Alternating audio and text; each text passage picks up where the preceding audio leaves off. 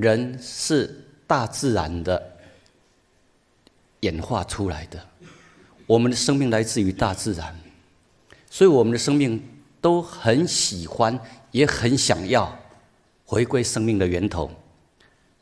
讲白话一点，人的生命很喜欢跟大自然相处在一起。如果不是为了赚钱、工业经济这样的一种紧凑的节奏推着人类往前走的话，人事实上是很喜欢过回归自然的生活。当你在滚滚红尘、在商业场合、在大都会里面生活一段期间之后，你回归乡下，会有什么样的感觉？很放松，很喜悦，很愉快，你会感觉啊，这才是我们真正所想要的生活。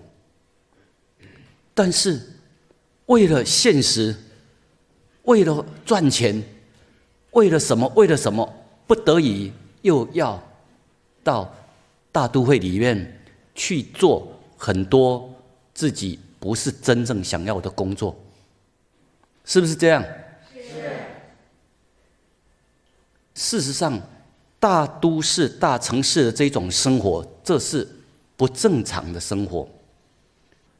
这不是顺天之道的生活。人类演化出这样的一种潮流，很多是值得人类去深思的。像我到新加坡那边，有一次他们晚上呃招待我们去。坐那个摩天轮呢？新加坡那个摩天轮号称亚洲最高最大的，到最高的地方你可以看到整个新加坡嘛，啊，你看整个新加坡它算是一个小岛国，他们形容不夜城，啊，也就是整个晚上一样都是灯火通明。我们一般人认为，哦，这好像很繁荣，很繁荣。但是在这样的大都会里面，你晚上也没休息，晚上也一样是灯火通明。对人的心灵品质而言，这是不太好的。所以新加坡人他们一有放假，一有假日，他们就往马来西亚。哎往马来西亚的乡下，啊，想要去度假，就是这样。人本身来自于大自然，不要忘了我们生命的源头来自哪里。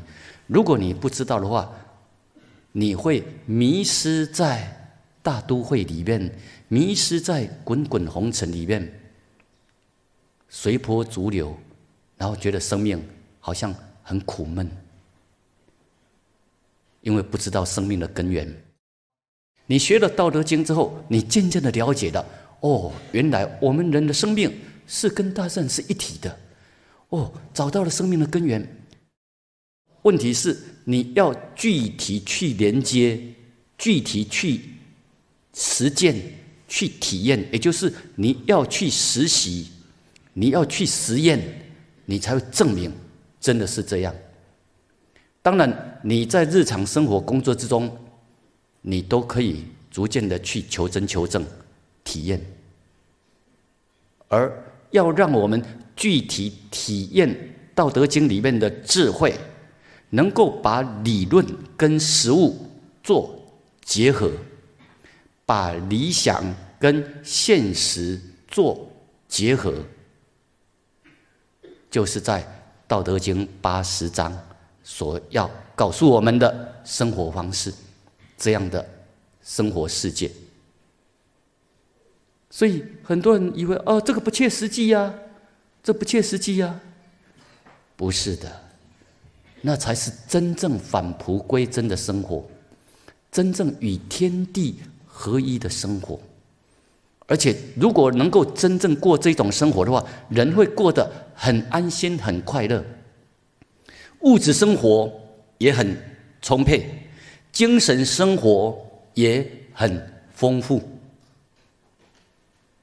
而且呢，活过一生不会对地球生态环境有什么污染。这才是人类要追寻的这种生活方式啊！所以不要从表面文字上面去认为啊，这个不切实际啊，怎么样怎么样啊？不是的，它里面含有含义很深，那是告诉我们要过返璞归真的生活，绝对不是那种很贫穷、很落后，不是那一种啊。这都是精神生活很富裕呀，食物方面也都很充沛呀。啊，为什么能够来到这样的世界？因为所有的村民大家都有学了《道德经》。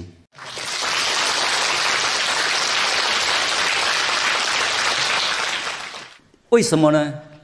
为什么有学了《道德经》之后就能够做到？为什么？心灵品质不一样，在没有学之前，我们一般人是充满了什么心？对，小我、自私自利的心。而这种小我、自私自利的心，因为内心空虚，他就要想要拥有更多，他要占有更多。那一种私心一起来的话，他会把资源，他会。一直要设法往他身上凝聚过来，啊，这样的话就会形成什么现象？资源分配不均，资源分配不均，所以才会有贫穷的人。那贫穷的人呢，他又嫉妒你那些有才华，然后拢聚更多资源的人，所以这个社会呢，就会形成。很多的冲突对立，你认为你强者，你抢了更多的资源，那些资源比较少的人呢，他们就会愤恨，他们就会起来要对抗，就是这样。如果大家心灵品质进化提升上来，大家体会到我们所吃的。我们所穿的食衣住行，全部都是天地父母在供应我们。只要我们顺天之道而为，我们这样勤劳节俭，每个人都有足够的食物可以吃。我们能够甘其食，美其服，安其居。乐其属，这个就是物质生活，大家都够。你要吃什么，你就拿什么。那你有什么才华，你就奉献。你做你能够承担、你乐意去做的事情，没有被逼迫，没有很无奈啊。所以大家呢？我们物质生活也都够，因为只要我们勤劳去耕种，我们所吃的食物就绝对足够的。足够的情况之下，你还需要去偷去抢吗？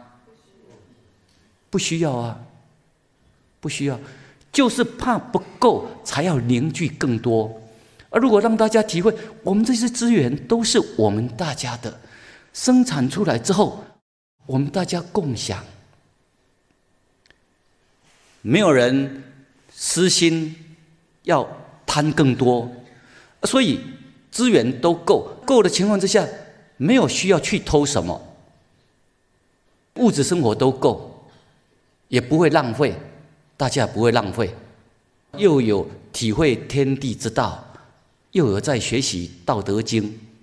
体会天地之道，所以你的生活你就会越来越安心快乐。如果你没有学习《道德经》，没有体会天地父母跟我们的密切关系，那你在农村里面，你会做个像老农夫，像一头老牛，在那里觉得无奈的耕作，觉得很贫穷，很贫困。这个就是你有没有学习到心灵智慧，有没有了悟真理实相，这是非常重要的关键。所以这些心法，这些心灵方面的智慧，要学到。你学到之后，你到哪里你都很快乐、很知足、很幸福。如果这些心法你没有学到，你到哪里你都觉得很匮乏。然后，到处就是怕不够，要凝聚更多。所以，希望大家好好的学习《道德经》的智慧，真的让我们都能够受用。然后把这种理念呢，整个都推广开来，让我们整个社会的人，让全世界的人，大家把那种私心逐渐的淡化，然后来到哦，原来地球上所有的资源。都是我们大家所共有的。大家淡化那些私心，那把资源平均分配开来，全世界的人大家都可以过很好、很富裕、很快乐、很幸福的生活。现在，请大家一起来朗诵《道德经》八十章经文和白话解释。其第八十章。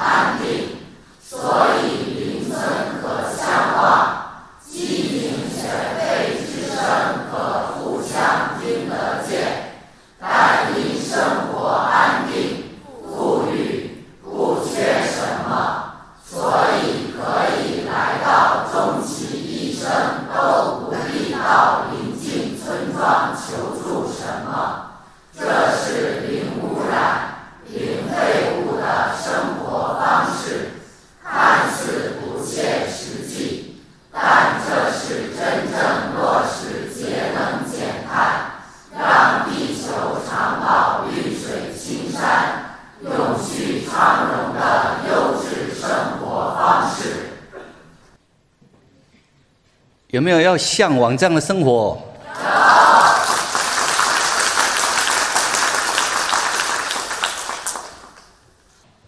道德经的经文很简短，但是言简意赅，含义很深。如果你从文字上面去理解，你认为道德经哦不切实际的，什么要民富节省而用之，这不实际呀？啊什么？呃，鸡犬之声相闻，民至老死不相往来，啊，变成好像很孤单呐，很孤寡，那不与人交往，啊，这样不是不实际呀？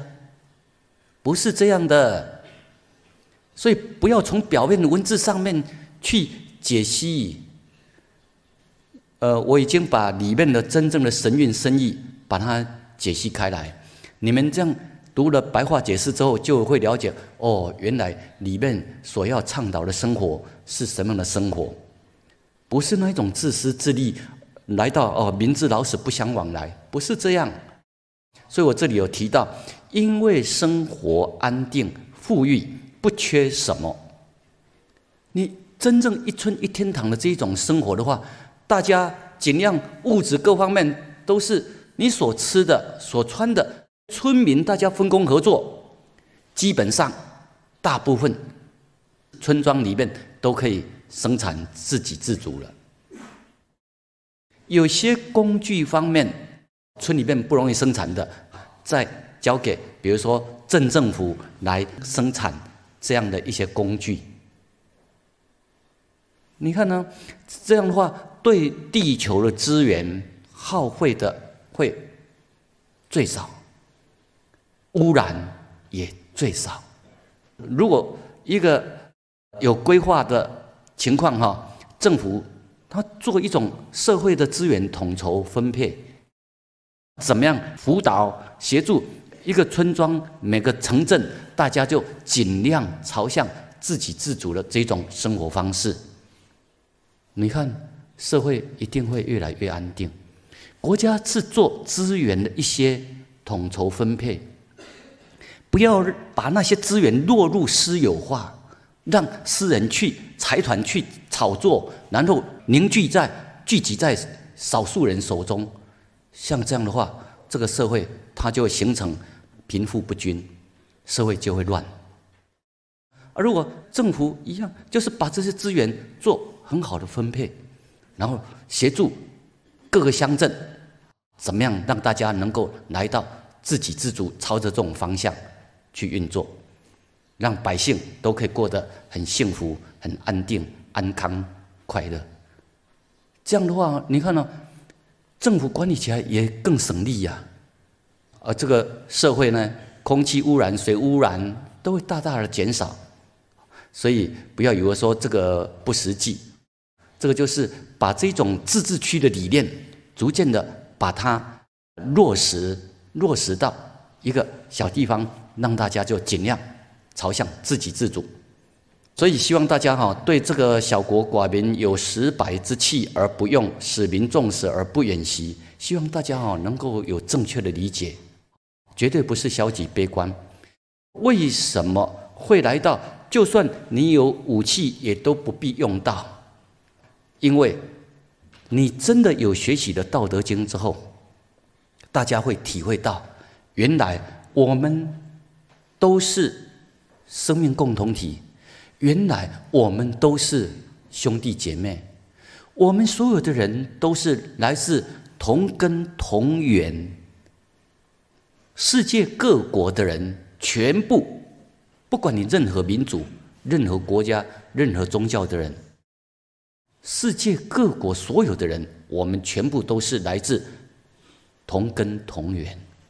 你认为不同源那是因为你还没有看到那个往上更高的那个深意，也就是到到了最顶端，它是一个太极，就是一个圆，它是一个源头。你如果认为说我跟其他人不一样，那表示你还没有到那个最顶端的源头来看，你是在下面的层次在看，才会看到哦，我跟其他的不一样。如果你往上提升，提升到最顶端，你来看，原来都是同根同源，生命一体。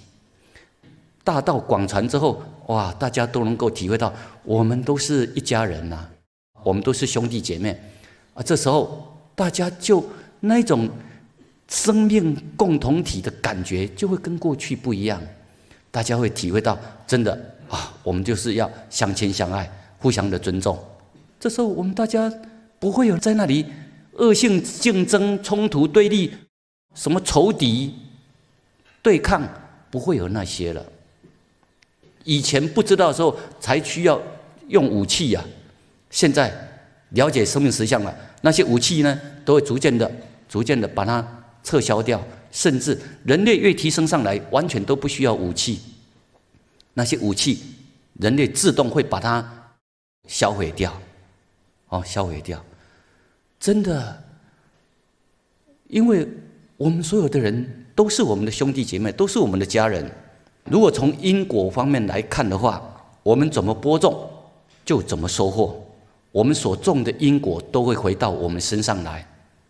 就算你没有体会到道的最核心生命同根同源的这个点，如果你还没有体会到的话，你从因果上面去体会，我们所种的因都会回到我们身上来，你就会知道我们该怎么去善待所有的人。所以一样不会有厮杀、对立、冲突，不会有战争。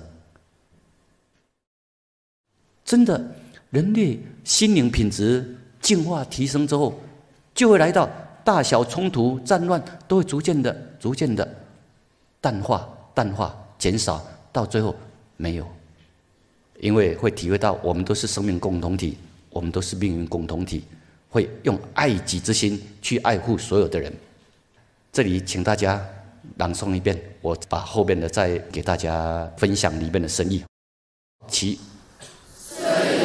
周瑜所成之，虽有假兵，无所成之，使民复结绳而用之。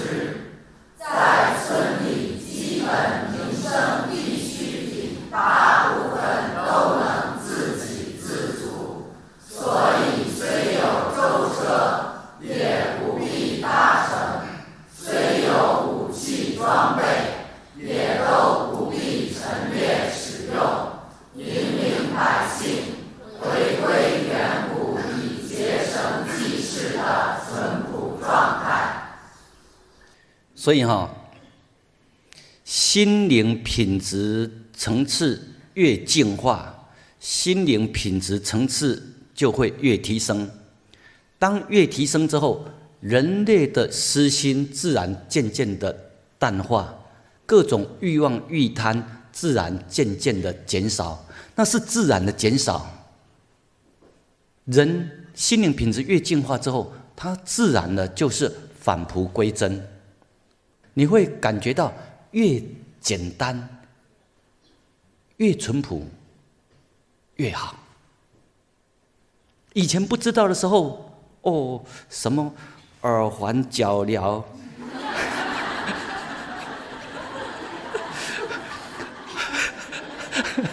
还有什么项链？还有什么哇？一大堆，哎！当你了解到返璞归真的珍贵，你会觉得，哎呀，那些都是什么？都是多余的东西，那些都是累赘啊！我没有看到那些狗他们在戴什么耳环，看到那些狗戴在戴什么项链，没有看过啊。以前我有养过一只小鹦鹉，啊，觉得因为它很聪明很可爱，那我想说试看看看他，我用一串那个小项链给他，给他戴，让看他感觉怎么样。结果把他戴在脖子上面哦，他什么反应呢？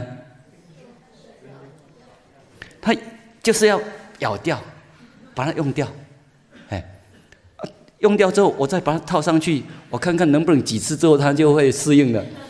一套上去之后没多久，他又是把它咬掉。后来再把它套上去，因为那个那个项链有用绳子有打结嘛哈，结果他就去把那个结，他把它打开，他会把那个结，小鸟啊，他会把那个结打开。就让他松掉。他觉得我不需要那些啊，但我是跟他玩的，哦，跟他玩，他很聪明，很可爱。呃，你看呢，他就告诉我们，我们不需要那些多余的，只要能够吃得饱、穿得暖，这样就好。所以哈，真的，动物他们都过得很单纯的生活，人心越单纯。你会越幸福越快乐。之前也跟大家分享过啊，富有我们要重新界定，富裕呀，富有。上次界定是怎么样的界定？富有不是因为拥有很多，而是因为需要的很少。如果你能够净化。提升，开启智慧，你自然的就会来到我需要的不多。当你需要的很少，你就不用整天忙忙碌碌为各种欲望欲贪而忙碌，所以你的生命就可以多出很多的时间来过自己真正觉得很有意义、很想要的生活。你就会多出很多时间来做利益众生、利国利民的事情，而不是像一般人整天忙忙碌碌为三餐，吃得饱了之后，又想要其他很多东西，后面成为欲望的奴隶，一直要去跟别人攀比。所以哈，希望大家好好去体会。老子要告诉我们，就是返璞归真的生活。这里有提到说，呃，使民富节省而用之，这是一个比喻，一个形容的。你看呢，这个器具，我们能够用自然的东西来做，它有功效出来，又不会污染生态环境。所以这句所提的生意，就是尽量用简单的器具。而这些器具呢，来自于自然，不会伤害生态环境，不会污染生态环境。尽量用没有污染性的器具，可以重复使用。用坏了之后呢，又不会污染，又不会伤害。所以我们看看我们老祖宗他们所过的生活，反而都是比较合乎天地之道的生活。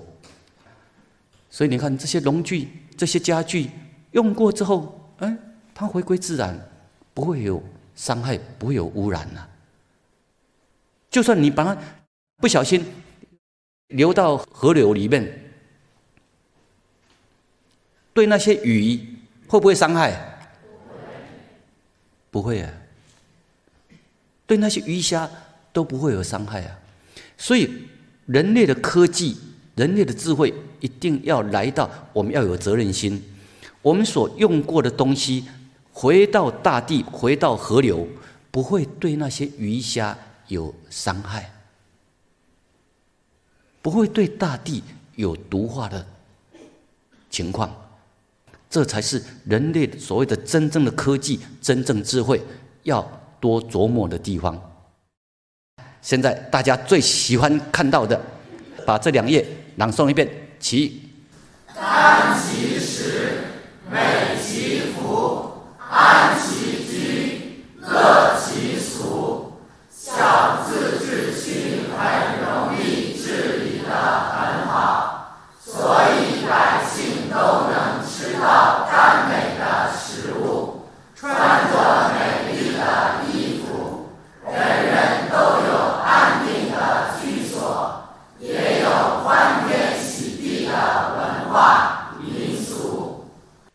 道德经》它并不是一种不切实际的玄学，或是一种哲学观而已。它是一种思想，它跟现实脱节，不是这样的。《道德经》它是真实的世界，所跟我们讲的，这是可以实践的生活。而这种生活如果能够落实、具体实践出来的话，就会形成所谓的一村一天堂。